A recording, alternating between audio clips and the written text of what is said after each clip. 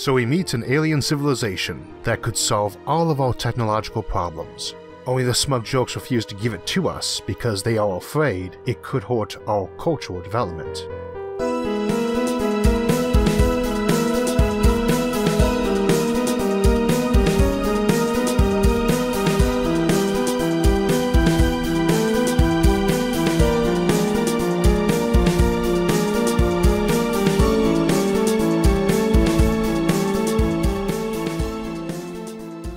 Today is this channel's 100th episode, and the topic seemed appropriate for the milestone, or milestones, since this week is also the third anniversary of the original episode on megastructures. Now, the reason a weekly show is celebrating episode 100 on its third anniversary rather than episode 156 is that early on the show was not weekly, and indeed it was about four months before the second episode came out, discussing the implications of those megastructures in terms of the Fermi paradox, the question of where all the aliens are. This channel was built with three basic focuses in mind megastructures built by high tech civilizations, speculating about high tech civilizations, and challenging the assumptions we receive from science fiction and life, the universe, and everything. So, celebrating our 100th episode and third anniversary by returning to the Alien Civilization series seemed appropriate. Fundamentally, this series is an extension of our discussion of the Fermi paradox, but focuses more on the motives of hypothetical aliens and trying to see if they make sense. It is debatable if the Fermi paradox should be called a paradox, since we still know so little about the universe to be calling aspects of it contradictory but it tends to seem that way since so many of the suggested solutions only make sense by discarding some assumption about life or the universe that seems solidly rooted in common sense. If we accept intelligent life is incredibly rare, it feels like a modernized form of geocentrism, viewing ourselves as somehow special.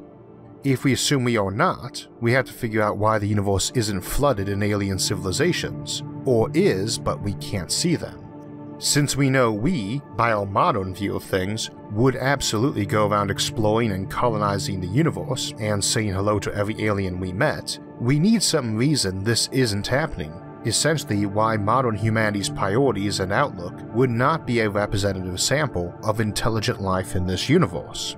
And we've gone through tons of suggested solutions, from all life dying off from technological apocalypses to them hiding out, or maybe being unable to travel the stars, or simply not wanting to.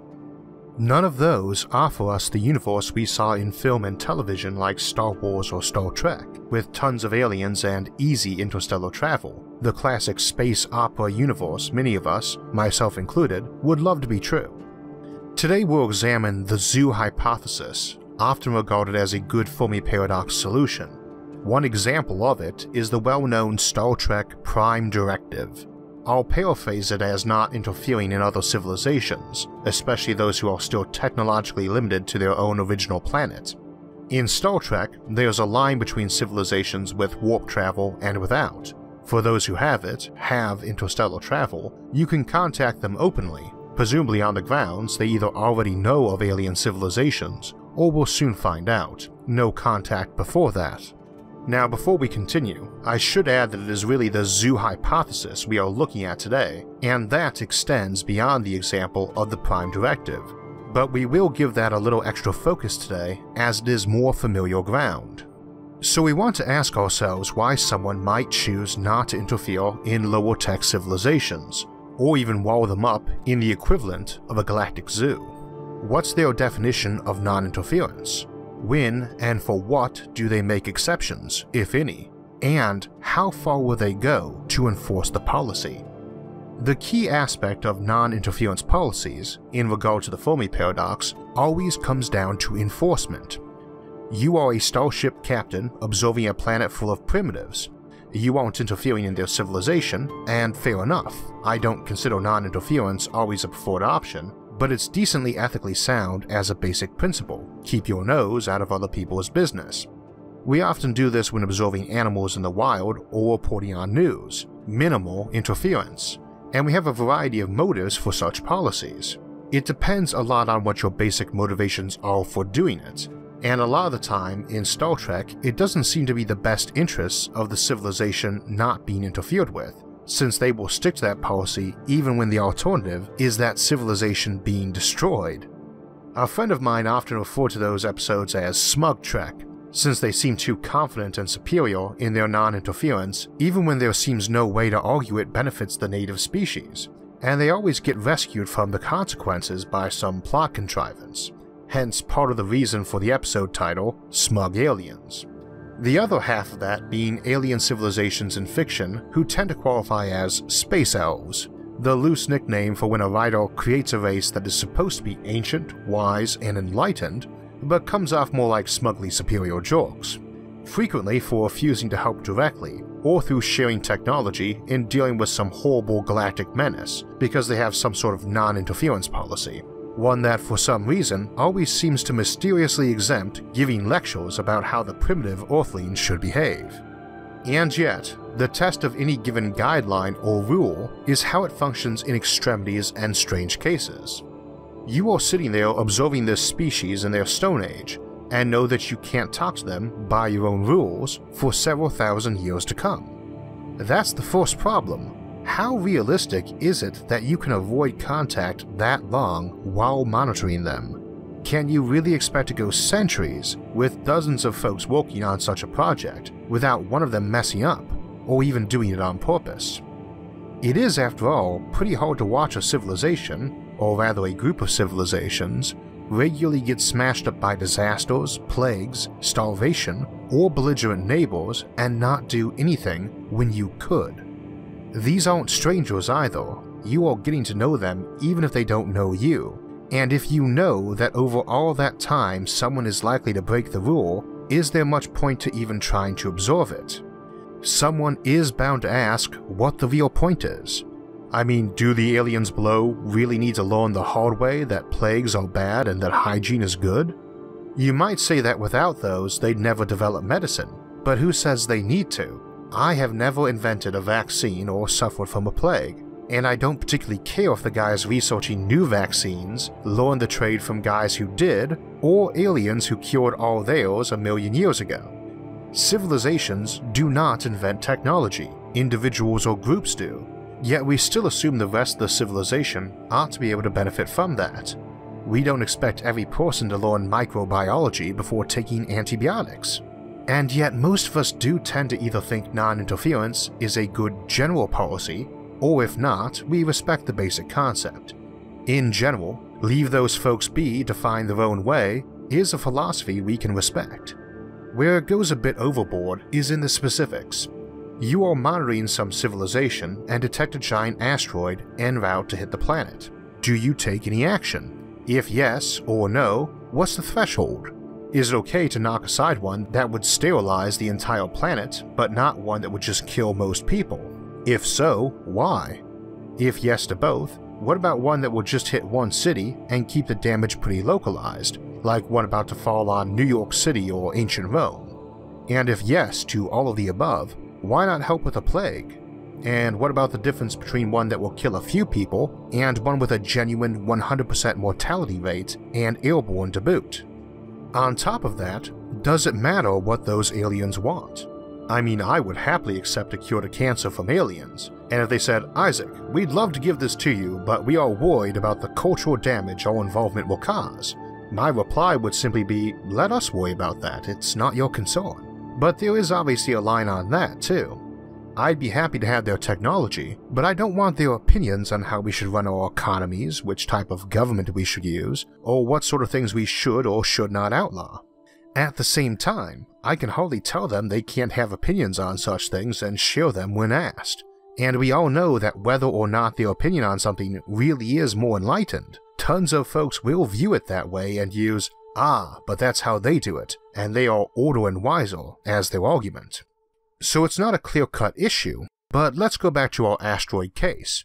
We will say it is a planet killer. When it hits, it's going to sterilize the planet.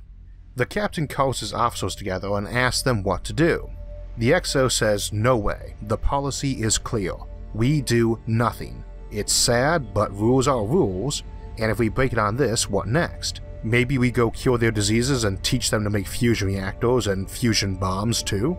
For all we know, they might turn out to be the next species of genocidal lunatics that will sterilize other people's planets. The engineer says maybe that's exactly what they should do. This policy is monstrous, and that reasoning is no better than not helping a kid out of a burning house on the theory they might grow up to be a serial killer. These guys have maxed out their brains from an evolutionary standpoint, same as a Stone Age child adopted through a time machine to 24th century Earth could learn the technology as well as a child of that era could. Why not just give it to them now, and give them the benefit of our wisdom about what to do or not to do? Blow up that asteroid, land, introduce ourselves, and share our knowledge. The XO is aghast at this, of course, and the captain doesn't approve either. So the science officer says, look, we don't have to go all the way on this, we just blow up that asteroid, this policy is meant to protect them from us, and an extinct civilization doesn't need protection. If something truly threatening comes up again, we'll decide at that time what to do. Now, in your typical TV show, looking to avoid morally ambiguous plot resolutions, this would be where the science officer says, Captain, while I was calculating the minimum deflection the asteroid needs, I realized that the gravity of our own ship had perturbed the asteroid, and if we weren't here, it wouldn't hit them. Or maybe, Captain, this asteroid isn't natural. This is actually an artificial asteroid clearly sent by the bad guys to look natural, and the captain can confidently order the asteroid dealt with, and everyone is happy and forgets about the unresolved issues they just had. If that doesn't happen, we might see the captain reluctantly agree to destroy it, and the science officer go to punch in the coordinates to blow it up, only to have the XO pull out a pistol and tell the captain they were relieving them of duty or even shoot the science officer and the captain. Then a three-way fight breaks out, ending with the chief engineer sabotaging the ship to crash into the asteroid and fleeing before the impact with the surviving crew members in the interventionist camp. That's the problem with sincerely held beliefs on issues involving life and death. People tend to feel okay about killing for them, and I can't really call the XO or engineer wrong for doing what they did. Of course, the engineer and the other interventionists now need to decide what to do when they land, and they need to consider what the response is going to be from back home when they get the news in a few centuries. Back at Central Command, when they do get the news, they have a few options. Of course, option one is they might not care. Policies do tend to change over centuries, which is another issue with that mission to begin with. Still, on option 1, they might still have that policy, but have had so many people break it in the centuries since they enacted it that they've pretty much given up on enforcement. Now, as to enforcement, what should they do? Go there and arrest the interventionists? I might do it as a high tech civilization so the original folks might still be alive later when a new fleet arrives. But what about their descendants? Regardless of whether the originals are still around, can you arrest their descendants? Can you forcibly deport them? No other punishments, just remove them. If they resist, can you kill them? What about the original civilization? Do you take their technology away? Or repeat what the asteroid would have done and nuke the place from orbit? Not many people would be okay with the latter, I hope, but that's the only one that really has teeth as a deterrent. If you believe letting that civilization die from an asteroid strike is wrong, odds are you will take action regardless of whether or not it means a prison term or even death. So your only deterrent is knowing it would be all for nothing, that the Armada is going to come by and torch the place and reverse what you did. And of course, if the interventionists think that is a possibility, they might still do it, and gamble on the chance that in the centuries they have before Ward gets home and a fleet arrives, they can bootstrap the local civilization up to the point they have a chance to resist. Indeed, considering the alternatives to not working fast enough, they have an excuse to outright play gods to establish and maintain enough control over the local population to get everyone working on increasing their numbers and accepting the new technology and turning over every bright kid to them for science and engineering educations.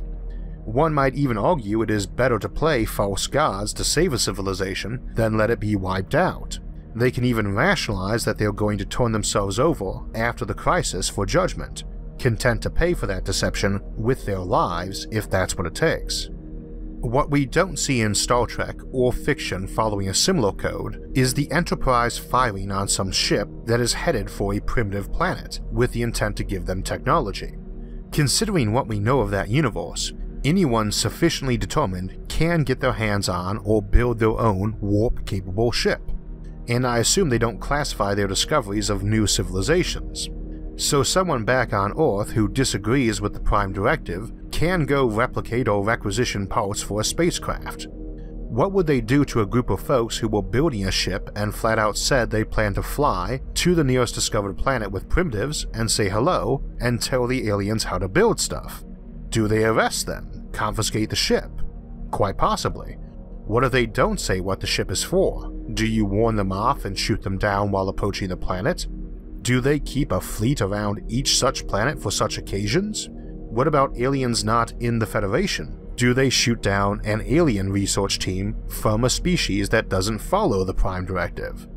This is why it doesn't work for the Fermi paradox, because we cannot expect every civilization to follow such a principle, and we can't expect all their members to either, and it's hard to imagine how you would enforce it over thousands or even millions of years. Is there some graveyard of ships floating around our solar system where aliens tried to run the blockade to help or exploit us and got shot down? Probably not. Let's assume there was, though, and that normally when you get interstellar capable, they come in and say hi. When and how should they do it? Most of us would say that specific technology is a trifle arbitrary, a simple nod to pragmatism rather than assuming it implies the civilization is somehow more immune to cultural contamination by having it. We often see in fiction the enlightened race showing up to talk to a civilization about our technology level, and usually quietly.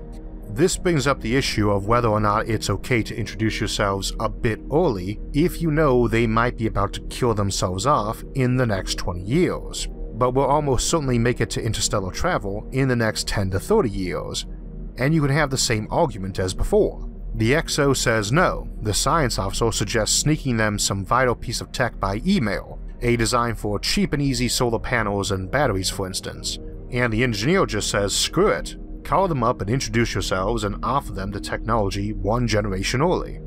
In a case like this, the captain might be more inclined to go with a direct and open intervention route, or at least try a secret introduction to their leaders. Of course, we don't know how aliens will view interacting with other civilizations. The flaw of the zoo hypothesis and prime directive from a Fermi paradox standpoint comes from it being very hard to see all of them sharing the same view or anyone being willing or able to enforce it on those who did not. After all, we do have professional policies about how zoologists or news reporters are supposed to act when in the field, not interfering, just observing. But it's not like that's actually enforced. So it would seem a Fermi paradox solution that can't be valid because it's unlikely to be practical to enforce it. However, the basic notion of the zoo hypothesis is actually a little more subtle, because what folks often miss is that the Fermi paradox assumes we are looking up at the actual universe and seeing it empty when it is not. Unless by some freak coincidence, all high tech alien machinery and empires are conveniently invisible, which would be rather weird, you don't make a zoo for primitives by limiting your own civilization. You do it by creating a fake environment around them. When we build a zoo near a city, we don't deconstruct our skyscrapers. We create a habitat that conceals those aspects of our civilization that we need to for their well being. So if you are making a zoo out of Earth, you don't go deconstructing your own Dyson spheres. You make a big one around Earth or whole solar system that creates an illusion. That is an immense project, but way easier than limiting what you do in the rest of the galaxy. And it doesn't need to be solar system sized either. I mean, it probably isn't that hard to snatch up unmanned probes and fake the data coming back, or even manned missions and trick the crews. But that fake zoo universe doesn't necessarily even need to resemble the real one. Easier to protect that zoo, too. It's small and cut off, so you don't have to worry about somebody sending a rogue hello signal into the zoo. However, that maybe doesn't go far enough. We often discuss advanced aliens as being a sort of higher entity, and in the softer kind of science fiction, this is usually some being of pure energy evolved to a higher plane of existence or such, but we often just assume they aren't organic anymore instead. We'll talk more about artificial intelligence in a couple weeks, but for the moment, imagine some civilization that had gone digital. They all live in this universe, or their universe rather, but essentially inside computers. They will consider that sort of existence just as good as a biological one, probably a lot more preferable since it is likely to be vastly more efficient in terms of resources and energy to support one individual thinking entity. That means there is a decent chance they converted their home planet into one big computer and just took copies of all the DNA, then uploaded all their animals into it too. Not just digital people, but digital cats and dogs and even honeybees. They could always grow or print up a new organic body for themselves or those critters if they needed to from digital DNA archives. So, from their perspective, what is the best way to make sure a primitive civilization is protected? There's a good chance the answer they come up with was to upload them. Just send in some covert missile carrying self replicating machines to land somewhere on the planet, then do some self replicating underground while studying the biology for the needed specifications. Then, one moment, someone is walking out their front door in the real universe and maybe stumbles a bit before proceeding on, not realizing that they stumbled when some nanomachine stabbed a spike out of the ground into their brain and copied it, and every person and animal there while cheerfully disassembling the planet to make a giant computer. So you recover from your stumble a few thousand years later inside some secure processor running on a Matryoshka brain in their home system, or maybe around our own sun, and the aliens who maintain that simulated Earth keep some backups, but you and every person and critter you know is safely tucked inside a simulated environment deep inside their territory, protected by the kinds of mega armadas and defenses some sprawling K2 plus civilizations can muster. See the Matryoshka Brain and Kardashev Scale episodes for details. Maybe when you die, you wake up in their afterlife, or just get stored until the civilization you are from reaches a level where they are comfortable being purely digital and they pop in to say hi and offer you wider access to things. As far as they are concerned, they did you a favor. Heck, they don't even need to grey goo your planet. They could have taken mental snapshots of everyone and left us as is, and kept those running instead to preserve things. We might object that they killed us and stuck us in a simulation, but they might smirk back at the contradictions in that statement and regard the objection as being the same as someone complaining that taking a photograph of them stole their soul. That's what I meant earlier about the zoo hypothesis being both a very bad and very good solution to the Fermi paradox, and also about how it didn't really matter, because it is essentially the simulation hypothesis at that point, and we've discussed that in terms of the Fermi paradox before also. Whether the universe we are in is real or not doesn't make too much difference to the Fermi paradox. First, all of our observations about the universe that lead us to seeing a Fermi paradox would not apply to the universe simulating us, the true reality as it were, which might be some four-dimensional place, or have stars that actually orbit planets and trillions of them per galaxy for all we know, with space being a nice shade of blue instead of black. Second, if they are simulating the original universe, or just simulating an entirely made up universe, it can be assumed they kept it decently self consistent, so that it makes sense on inspection, meaning that the Fermi paradox would have a logical answer internally consistent with the observable, if fake, universe. The simulators, who design the place, can be expected not to leave blatant paradoxes and contradictions all over it if the goal is to keep us in the dark. Of course, it might not be. But fundamentally, whether it's that case or the more classic non interference approach, while you can make arguments both for and against the ethics of these approaches, there is something kind of smug and superior about that approach. That's an opinion, obviously. I won't deny there's good arguments for keeping quiet, but for my part, I tend to think the best approach to non interference in a culture is like the best approach to keeping people away from your civilization. In that case, we said you would not hide, you would just do the equivalent of hanging no trespassing signs around your territory. For non interference, I tend to think you'd be best off just introducing yourself and telling them how to reach you if they want to talk. It seems more practical and ethical, and the alternatives don't really seem viable anyhow, except of course for showing up and uploading the entire planet, which is undeniably pretty effective. Next week, we will be looking at the other approach of directly contacting primitive civilizations with little technology or even no technology at all, and tweaking their minds and physiology to be able to use technology, a concept called uplifting. That will be a two part collaboration episode with John Michael Godier, with the first part on this channel and the second on his. The week after that, we will be starting a discussion on artificial intelligence with a look at androids, and we will try to sort out some common myths and misconceptions we often get on that topic. The week after that, it will be back to the Outward Bound series to look at colonizing Titan, and we will explore the option for colonizing Saturn's largest moon, along with looking at some of the concepts for robotic colonization of the solar system. For alerts when those and other episodes come out, be sure to subscribe to the channel. If you enjoyed this episode, hit the like button and share it with others. Until next time, thanks for watching and have a great week.